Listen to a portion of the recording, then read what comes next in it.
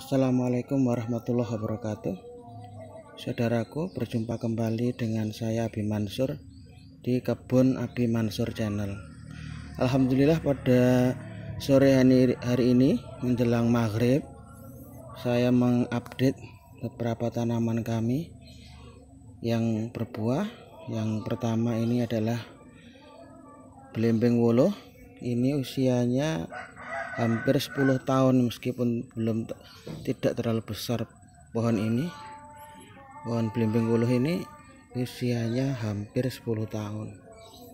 Buahnya banyak sekali tapi pada saat ini tidak terlalu banyak. Sudah beberapa kali dipanen untuk buat jangan asem atau sayur asem. Jadi sudah sering dipakai untuk membuat sayur asem ini buahnya ada beberapa meskipun tidak terlalu banyak. Ini belimbing wuluh yang ada di kebun Abi Mansur. Nah ini penampakan dari uh, belimbing wuluh yang usianya hampir 10 tahun. Ya tidak terlalu besar.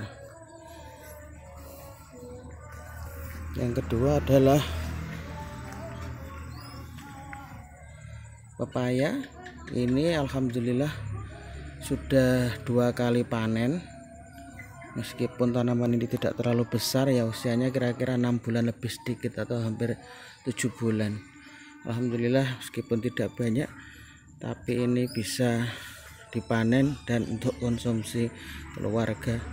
Ini dua tanaman di kebun kami kebun Nabi Mansur yang bisa saya update pada hari ini Selamat berbuka puasa bagi panjenengan yang melaksanakan ibadah saum sawal.